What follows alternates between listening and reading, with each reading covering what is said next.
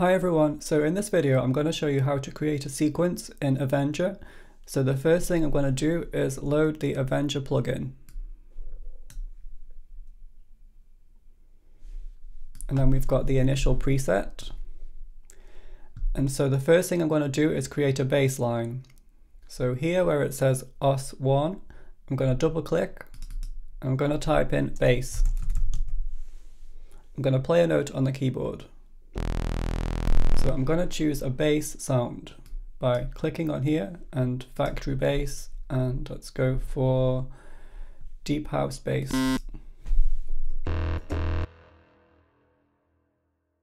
And now I'm going to create an arpeggiated line.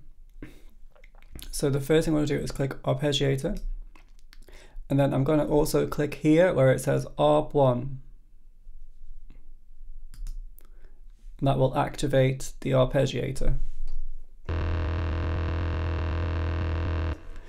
so I'm going to remove some of these notes by right clicking on the notes that I want to remove.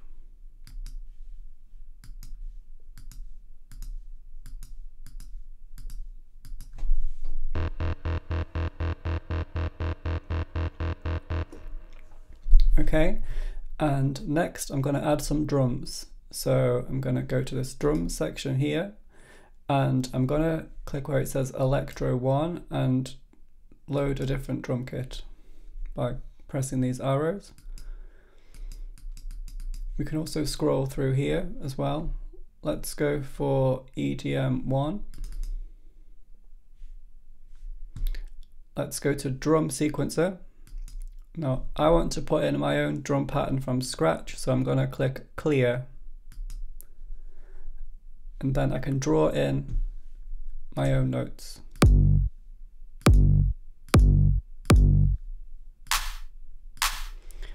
I'm just going to make this a bit shorter by turning this wheel where it says length.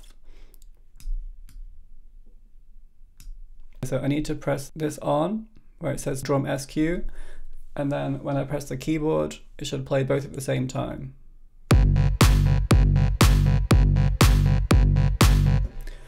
Okay, but that drum, I need to change that because it's um, it's got like a very tuned sound. So I'm gonna go with EDM7 and then I'm gonna go back to drum SQ and click clear again and then write in the new notes.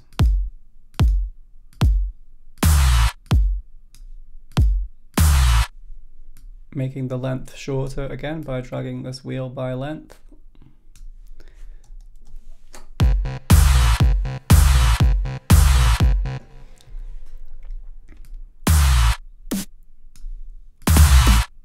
Change that um, snare sound as well.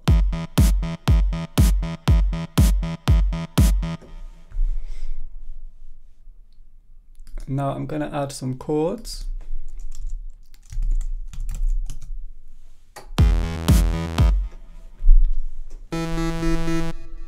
So I'm going to click solo by clicking chords and then clicking on the S. Find a cool sound to use.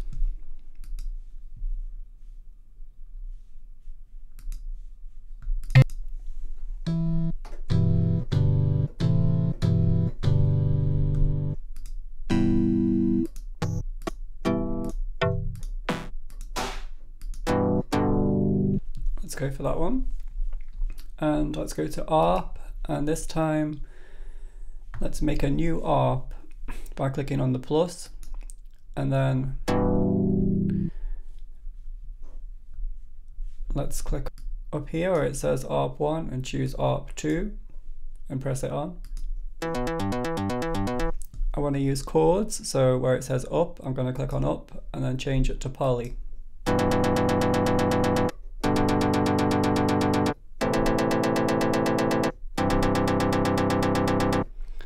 Okay, and if I take off the solo, it should all play at the same time.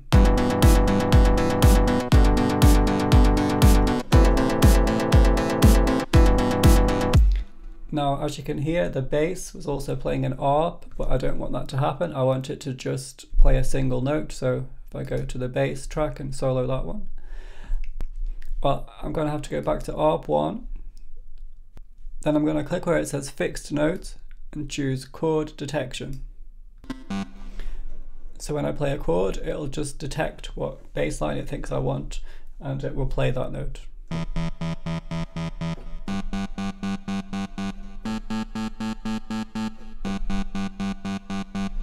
So let's hear all those together.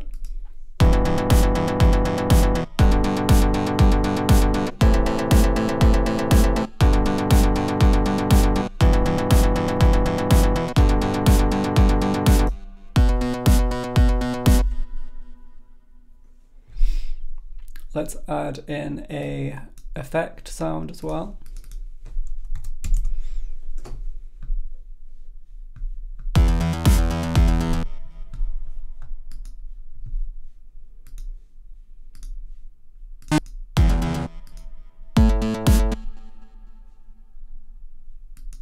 creating a new ARP and we just want the effects to play towards the end of the phrase.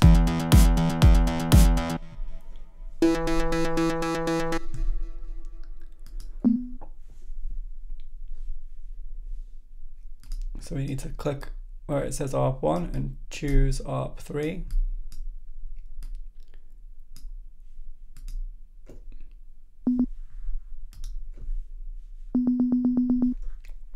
I want to be, to be a long note, so I'm going to remove these notes and extend this one.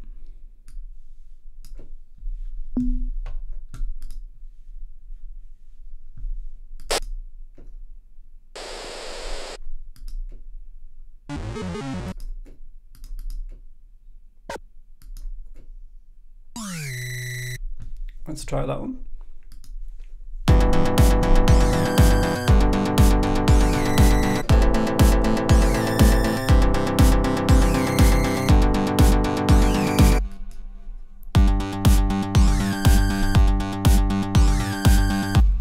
Sounds pretty cool.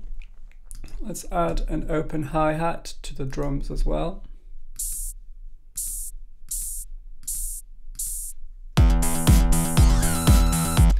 Want to make that hi-hat a bit shorter, so I'm going to click where it says open hi-hat, click edit, and then where it says end, I'm going to drag that to the left and make it shorter.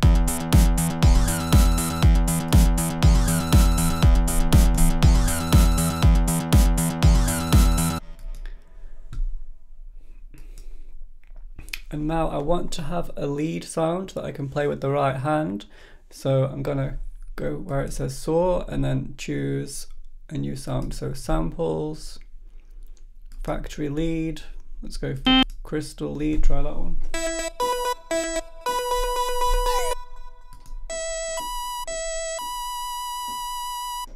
Okay, let's add some reverb to it as well. So let's go where it says plus and choose AA reverb.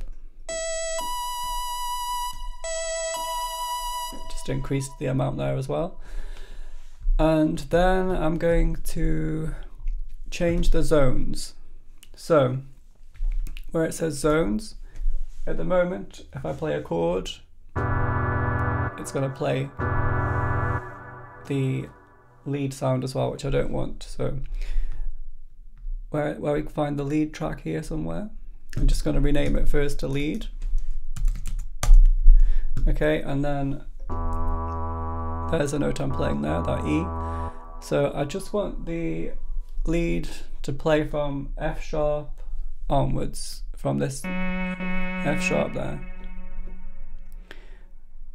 Or basically from the G onwards. So a bit like an arranger keyboard where the chords section will usually finish around the F sharp there. Okay. So now if I press any of the low notes, there's no sound. If I press the G onwards, you get sound. So I just need to adjust the rest of these. So the effects, I don't want that to play on the lead section. The chords, I don't want those to play on the lead section, so I'm moving them to the left. And same with the bass. So let's try that. So first need to unsolo the lead. Okay, let's go.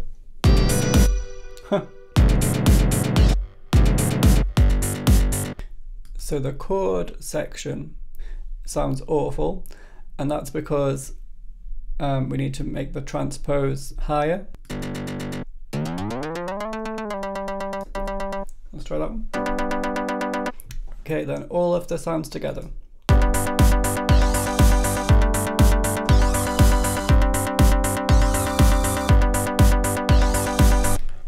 The lead as well.